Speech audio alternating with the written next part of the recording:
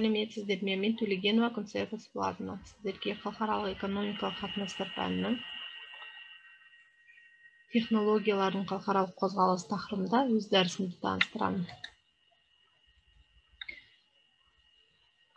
технологиялардың халықаралық қозғалысының жүзеге асырылу жолдары ол технологиялардың халықаралық қозғалысы коммерциялық немесе қайтарымсыз негізде ғылыми техникалық жетістіктердің өнімдер технологиясы процесстер технологиясы басқару технологиясы мемлекетаралық қозғалысын білдіреді технологиялардың бөлінісі жекелеген елдердің ғылыми техникалық прогресте қол жеткізген нәтижелеріне байланысты болып табылады.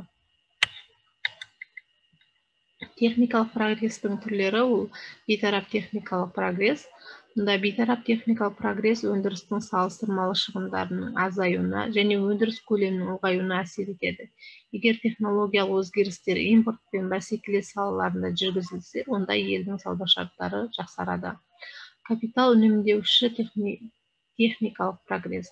Капитал үнемдеуші техникалық прогресс капиталы көп қажет ететін салаларда өндіріс шығындарының азаюына ықпалын тигізеді.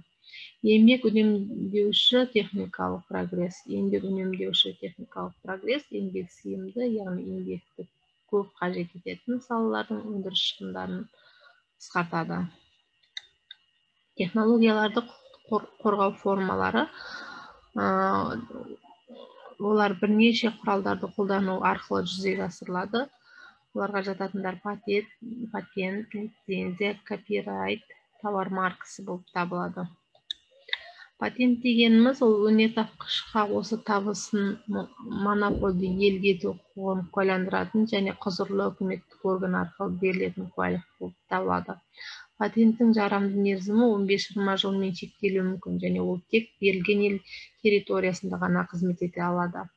Патентті өз күшінде сақтап тұру жоғары патенттік салалар төлеуді заң жүзінде талап етеді сондықтан көптеген патент иелері өз табыстарын басқа қаржылы адамдарға немесе фирмаларға сатып жібереді. Лицензия ол технология иесі арқылы белді бір технология түрін арнайы бір мерзімге арнайы ақыға қолдануға рұқсат ететін құжат болып табылады.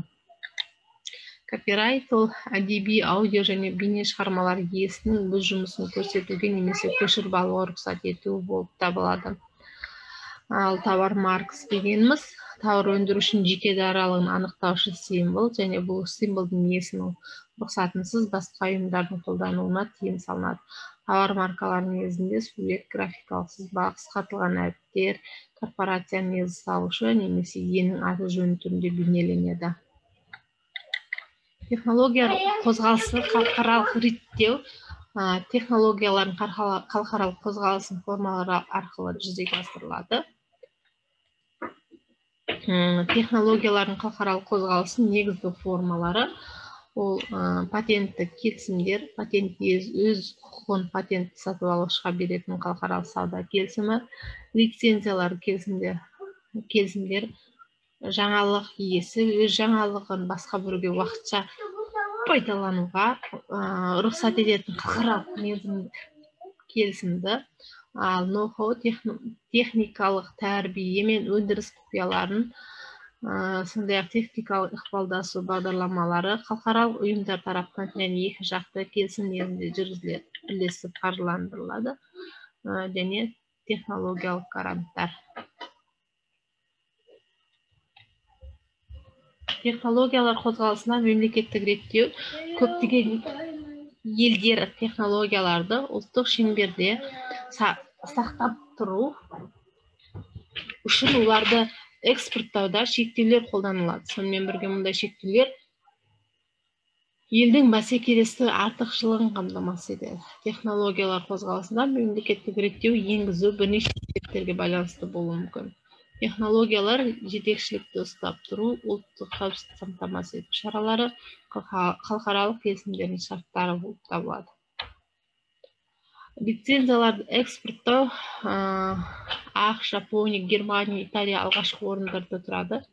Қазіргі заманғы технологиялардың әлемдік рыногында төмендегідей ерекшеліктер тіркелген ең жоғары технологиялық сенімді өнімдер саудасы қатарында бірінші орынды аэрокосмос құралдар саудасы екінші орында. Құрал құрал жабдықтары және компьютерлер. Үшінші орын экспортқа және оның компоненттері. Төртінші орын дәрі дәрмек бесінші орын құралдар электр құрал жабдықтары болып табылады. Орташа сиымды өнімдер автомобильдер саудасы химия өнімдерінің лицензиялық саудасы тағы да басқалар жатады. Ал төменгі технологиялық сиымдар өнімдер кірпіш шыны мұнай қара металдар және тағы басқалар жатады. Ә, жалпы бүгінгі дәріс бойынша дәрісіміз осымен аяқталады. Ә, сау болыңыздар.